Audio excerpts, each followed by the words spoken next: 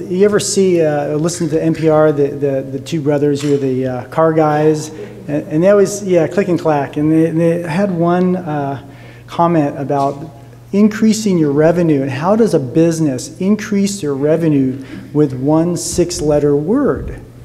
You know, and, and so this is a shampoo company, and they want to sell more shampoo. So what do they do? They write instructions on the back of the bottle. You ever read it? It says shampoo, rinse, repeat. Brilliant. Brilliant. So, I mean, that's what this is. It's, uh, well, actually, shampoo's better because it actually does something. So, well, it is an honor to be here. Uh, I, I, look forward to sharing you some of my uh, experience with uh, my MOC journey, I call it. It started six years ago after I took my first recertification board exam I took uh, about a week off from work. Preceding that, I studied and then you know, had three small kids and I spent a lot of time in the office. And then would study and then took a week off, which is expensive when you have your own practice like I do. And so I was real nervous and worried about if I don't pass, of course, when you're an athlete, you don't think about what you may do wrong. You always think about the positive. So I, I got out of that exam and I just felt just uncomfortable. I, I, felt like I was taken advantage of, and I just the, the, I couldn't put a word to it, but I didn't like it, and I just vowed I'm not going to do that again. And I told my wife, and she kind of said, "Oh well, whatever, you know, okay." But as I got on, I Googled, of course, and I, I met a lot of the people that are here today, and, and learned a lot about uh, what I'm going to present to you. And uh, thank God for Google. I think that makes a big, or the internet in general, makes a big difference from why we're here. Things go by fast. We can share a lot of information with one another, which I'd like to share this presentation. If you'd like the presentation, just email me. I put my email up there. Email me and I'll send you my presentation. There's some uh, links that you may like. So, the learning objectives, basically uh, four, uh, the first being what uh, Charles talked about, the uh, ABMS. I'm going to talk, I'm just going to show you some slides about their overall uh, net revenues. I think you'll be uh, interested in that. The two, the, the, the attempt to push more MOC on us in, in different ways, the creative ways. The third is what we did here in Oklahoma. Uh, and contribute to, um, uh, well, uh, the, the, third is, is the issue of MOC is to improve quality and, and help protect the, the public from us physicians who are bad. And so I'll show you, at least in our numbers and in Oklahoma and Ohio numbers, that incompetence as measured by medical board actions against physicians is not very common. So, you know, what is MOC really doing? And then finally, our efforts here to pass uh, the, the anti-MOC legislation, the law that should come into, uh, come into law this November. So, I have no financial conflicts uh, in the content today. Uh, I am not a board director of uh, a board, uh, a national board of psychiatry and neurology, which I, I belong to and, uh, and I, pay, I had paid money to. Uh, but I do have other uh, disclosures that uh, when I went to my first meeting, CME meeting after residency, it was at this beautiful place, Big Cedar Lodge. Has anyone been to Big Cedar Lodge? Oh my gosh, fantastic, right? So first meeting there, and I met a fellow, this is the, the, the Southern Neurologic Society, had a meeting there for years and years, and he made a comment as we are going throughout the, this is the conference center, and um, Bent Hook Marina, which I've been many times, top of the rock golf course, overlooking Table Rock Lake. This is in Missouri, southern Missouri, uh, uh, and, and adjacent to Arkansas. And this is a Civil War era cannon they shoot off to celebrate the end of each day. Uh, it is quite loud, but the cannon doesn't go very far, don't worry. Um, Truman Smokehouse, the Falls Lodge, And of course, the most important place for uh, our family is the Buzzard Bar. It's a restaurant, and the Singing Cowboy. But when I was there, I was impressed by this, this physician. He said, when you, you're an attendee of a CME program, you, know, you look at the speaker and you, you assess their content and, and the data that they, they present and their, their impressions, and then you decide uh, based on that individual and their experiences, what you believe in and, and what seems reasonable to you. And then I thought, well, that's really what you do, and what we were trained to do every day, not just with patients, but we read journal articles or uh, consensus reports. We kind of try to assess where they got this data, how good it is, and how it pertains to us. And will it change our practices, improve our practice or not? So he presented himself, I like this, who he is, and I, I think that it, it, for the, today's talk, it's important to know that uh, I'm a private practice physician. I, I have my own practice. There's no one else there. I am all, therefore, I'm an employer and a taxpayer. I've been married for nearly 30 years. I have three adult children. I'm a member of our board of the Tulsa County Medical Society. I'm a State Medical Association of Oklahoma member, I am not a member of the AMA. I am a member of AAPS. Yes. and I'm a big fan of Ayn Rand. I, I, uh, Atlas Shrugged. Uh, actually, it was a required book for my economics class at Stanford. Wow. Like, yeah. I was like, wow. So uh, I read that, and I like, it has nothing to do with the class literally, but philosophically, it was fantastic. So I urge you, if you've never read that, to read it. Here's a quote that uh, she has in the book that basically we all ascribe to. We all want to do better in everything we do, right? We are, we are not takers, we're doers and producers. And that's pretty much what uh, we are so incensed about, about MOC, is it's forced upon us supposedly to make us better, but it doesn't. It just takes time. And I don't even argue about the money issue. I think that's really a moot issue. Uh, the public looks at us, wealthy doctors. If we cry it costs a lot of money, we're not going to get a lot of fans. But if we cry that it takes us away from being with you, then they kind of get it. And, and it does. And you know, I'll show you how it does that. So the ABMS, get on the website, and they espouse there the gold standard of quality. They serve the public. I didn't know that, but I guess they do. And they serve us. Wow, awesome. And so, how do they do that? By improving quality of health care. I didn't know an organization can do that. I thought it was us. And you know, they set our professional standards. I don't think so. And then in partnership with all these member boards. Well, first of all, I don't know if you have this information, Chuck, but I called a board of director at the American Board of Psychiatry and Neurology, and I was interested. In, this is after I took my board exam, and I was really, I got to get some information. And so I learned that they pay the ABMS $700,000 a year just to be a member. So that sounds like a franchisee, doesn't it? That's, that's what I think.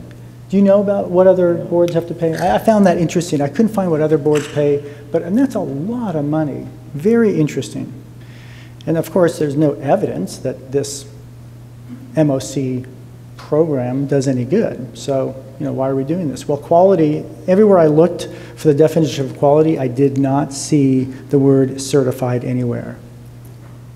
In the words of Trump, ever, ever, ever, never, never, never. I haven't seen it.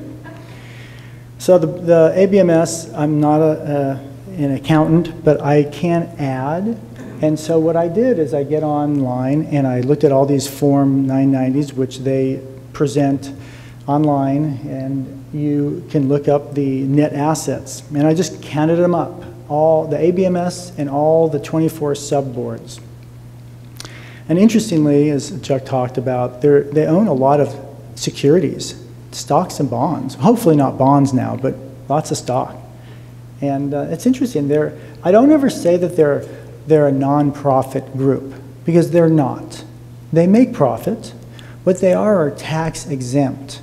And that is something that we've talked a lot about is sicken the, uh, the IRS on them because this is just not right. This is not right that it's not, some of it may be tax money, but it's our money being used for other, something other than what they say it's being used for. So I did the numbers. I can get numbers on GuideStar between 2013 and 2015. Most of the numbers were from 2013 and 2014, and I just added up the net assets, and I got to, and this is just with 16 boards. I didn't go all the way to 24 boards, and I got a lot of moolah. Okay, so that's half a billion dollars. Isn't that disgusting?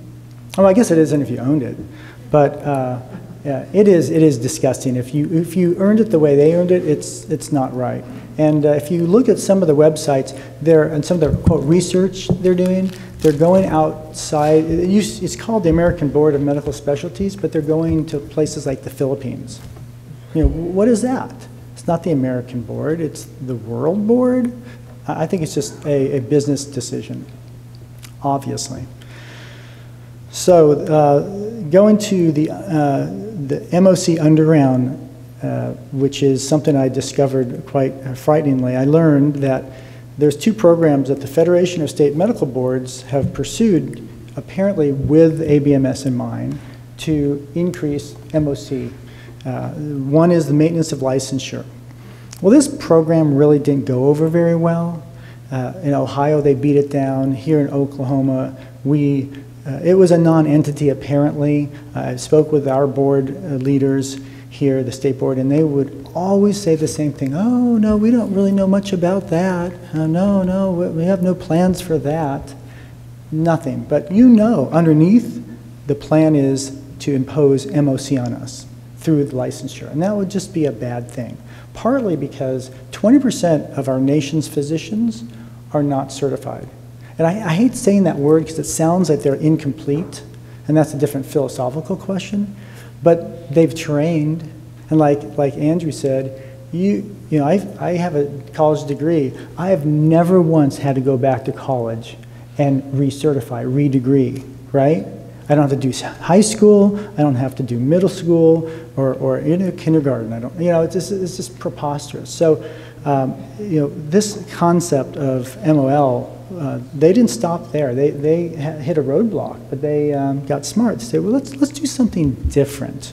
So let's try the licensure compact. You've all heard about the, the Federation's licensure compact. So there's a physician shortage. They recognize it. How can we help you?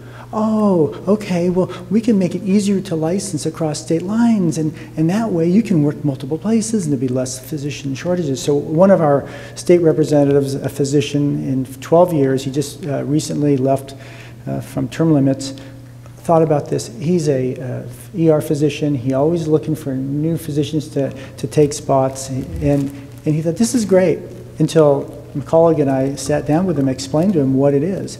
It's, it's just a way to get MOC forced upon all the physicians. And what would it do in general, overall? It would decrease the number of physicians available because the 20% of physicians wouldn't be able to be licensed. I mean, it's just preposterous. So hopefully we can beat that uh, as well across uh, all states. Okay, so moving on. Incompetence. I don't like that word. It's too close to incontinence. Uh, yeah, as a neurologist, I get a lot of calls from, about urology, and it's really odd. You know, hey, his, his tube fell out, and I'm like, out of his head? Oh, you want the urologist. Um, but uh, Dr. Kempen wrote a couple articles and presented data at Ohio, the medical board's actions against physicians, and the percent of people who are acted against for poor quality, very small. You can see 3%. I don't know if you can see that. Um, a very small sliver. Uh, the, in Oklahoma, I took that article and I thought, okay, let's find out what Oklahoma is like. So I contacted our board and they wouldn't give me the data and I had to go to our executive director of our, our Tulsa County Medical Society and she got the data that afternoon. It's, it's kind of interesting. So I, I thumbed through 11 years of data. And it was, you know, I found it interesting. There's about 8,500 physicians in the state. I don't know how many of them are active physicians, but they're licensed. And any, in any year, there's only between 300 and 500 complaints. Of course, a lot of complaints are probably not valid, and they obviously aren't because only about 10% of those complaints lead to an action. And majority of those actions, as you would expect, are not related to quality. It's other stuff, you know, impaired physicians, um, from other states getting, you know, information in the bootleg that, that they had problems elsewhere, financial dealings and, and other stuff. So, you know, this whole notion from ABMS that the quality is impaired and, and they need to protect the, the, the public from us is ridiculous. So that comes to the final uh, stage of my presentation, which is how do we level our playing field against these bad actors who are imposed, I mean, we, we are imposed upon all the time, regulations upon regulations, and this is imposed, MOC is imposed upon us, not from a government, but a, a private corporation that is not taxable, or they should be taxable, but they're tax exempt. And these people are making, on average, I looked at all the board uh, the, the tax returns show what these leaders make. These physicians are making typically between 700 to $900,000 a year in salary and another two, $300,000 in retirement. Well, that's a lot of money to work with no call and, and 35 hours a week, and they get, they get uh, you know, paid flights, first, first uh, class flights uh, across the country. Mean, that's all right, so how do we, how do, we've had endless discussions about how do we even up the playing field. And so, you know, this is, this is it. Just stop it, you guys. Stop recertifying, stop certifying. You can be a licensed physician without being certified. End of story. Good night. Well, I wish that were the case, but it's not, because we all know in reality, you can't do that. And, and why is that? Because the hospitals, and I'm not going to say it's a conspiracy, I think what it is that the ABMS has very good lobbying and, and they've marketed themselves as the board. But there's other boards out there. So how come those boards aren't also welcomed? And, and that's, you know, that's another question we need to, to pose. So we know people, I know people who chose not to recertify and now they're getting paid less from the state organization because they're on a different tier, or the, the hospital decides to kick them off staff. And once you're off staff of a hospital and you're not on any hospital staffs, what happens? Insurance companies say, well, you can't be in network because you have to have a hospital to admit you. Well, I don't admit anybody. Well, still, that's our rule. So there's a lot of ridiculousness in our, in our profession. So how do we beat this? Well, we've talked about an alternative pathway, and lo and behold, there is one. Now, so how many of you are, are aware of you know, the National Board of Physicians and Surgeons? Great. So there's some that didn't, that wasn't aware. Get online, look at it. It's very valid, okay? It's just more valid than MOC because it's not that expensive. It allows you to pursue your own lifelong learning, your own CME. Uh, the ABMS requires you, at least our board in psychiatry, I can't use my own CME where I want to go for my MOC. I have to use their sponsored CME. What's that about? Money. So here I just put on the, all the board members uh, at the National Board of Physicians and Surgeons, very impressive people. I've spoke to several of them. They're very earnest people. You apply, if you're board certified now, regardless of the type of board, whether it's lifelong or, or, or, uh, or a mock, you can, for $169, and you give the right paperwork and your license, you can get certif recertified for two years. And I suggest you do that. The next plan, and you've already heard about this, is to try to get your colleagues and, and on staffs everywhere to learn about this alternative and accept it on staff. We need competition, and that's what it, it uh, represents. This slide is to really appreciate all the people involved in this anti-MOC fight. It takes a lot of time, money. Dr. Benbassat uh, started this website that I learned about, the changeboardrecert.com. And so I learned about, I'm here today because of, of Ron. And you know, he does this all on his own. I mean, everyone involved spends a lot of time because we believe in it and we're making some headway. So you, you heard about uh, Kurt, excellent article. Read it if you can. Um, so I'm, I'm going to go to the next stage, which is how I got this law passed. I mean, I didn't write the law, but I, I started uh, with writing resolutions for our state medical association annual meetings, anti-MOC, uh, and this is in 2012, 2013, which many states were doing, and I heard other people doing. We shared language, and finally, in 2014, the AMA finally adopted their principles of MOC. Have you heard this? This, this is like, we thought this was awesome. We're like so excited. We're going to walk around the halls of the hospital and they're going to listen to us because AMA, oh yeah, it's the AMA. I forgot. Um, they kind of listen to the AMA sometimes when they want to, and they kind of don't when they don't want to.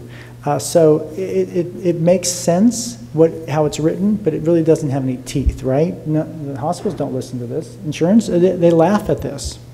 So I thought, what can we do to impose our will on them rather than vice versa? So I have to show you this video because this, this, if I can, it's Indiana Jones as the physician group fighting the MOC bad guy.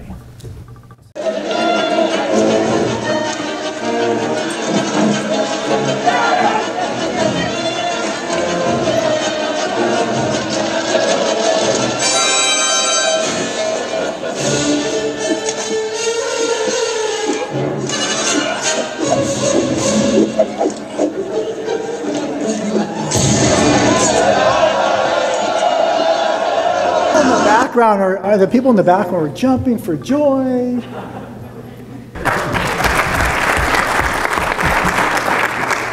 So I actually was thinking about how do we stop these people in their tracks, and um, I thought, gosh, hey, they impose it on us. Why don't we impose it on them?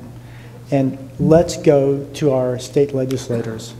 So at our, I wanted support from the physicians. I didn't want to go personally to legislators. I wanted it to be a group effort. So I went to our state, you know, annual medical uh, meeting with our state, with Oklahoma State Medical Association, and presented this idea, and it was 100% yays. Of course, and the nays probably didn't say anything; they were scared. So we handed it off to our our legislative liaison, Wes Glinsmann. He handed it off to two people, in, one in the Senate who was a, uh, a an attorney, was very friendly to physicians, uh, Brian Crain, and then uh, Dr. Ritz, who is in the state, uh, in the House. And they got together and they wrote up this law, which is basically the AMA principles of MOC in law form.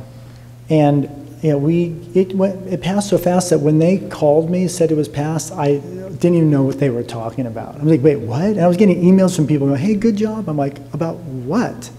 And then I couldn't believe how fast it went. And of course, you know, that is you know, what, what remains to be seen is how it is taken by hospitals and us. If we take this law in our hand and go to our staff meetings and demand that this be uh, a, a template, we will get somewhere. And, and really what we're asking for is competition, National Board of Physicians and Surgeons being an alternative, and other boards, not just that, other boards being uh, an option for us, and have an option to use an alternative to certification. And in my belief, I think that certification means well, but the reality is is when you buy a car and you drive off that lot, why would I have to go somewhere else to put a video game in there and, and speakers? And, I mean, that's ridiculous. When I leave that lot, I want everything intact. And so when I finish my training,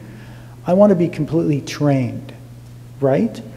Well, you take these board, the annual board exams as a resident to see how you're doing, right? Hey, great idea. For a hundred bucks, why don't we just have your board exam part of your fellowship and residency? When you walk out that door and you, you graduate, that's it. Whether you want to take a recertification exam should be your, your desire if that's your CMA program or not. Some people love to take tests. I don't. I really like to learn as I'm doing. So I think there are some options, but in today's world right now, we do have a challenge, and that is if you have a mass, uh, you know, uh, refusal to, to recertify, you're going to have problems with your practice. And, and, and if you're an employed physician, employers will say, sorry, unless that employer thinks that they're going to save a lot of money, which they would, by also being anti-MOC. And I have not, we haven't gotten to that level of bringing in these big employers and showing them how much less time physicians will be gone. I mean, they, they and how much time and money they're spending on an MOC. So uh, I think the, the legislative um, efforts are being duplicated elsewhere. I think they're making headway. I think it's too difficult for the ABMS to fight 50 different states. It, it would, it would cost them a lot. They have the money. I mean, they, they do have the money. So don't be, don't, don't think, and I, I thought originally, boy, we're going to really kick butt, but the reality is, is they, if you're making that kind of money, are you going to just say, oh, gosh, the doctors are together, I'm, I'm just going to go away? Uh-uh. I mean, you, you're making a million dollars a year doing not very much work, it's kind of hard to leave, and they're going to fight tooth and nail. So thank you for your time.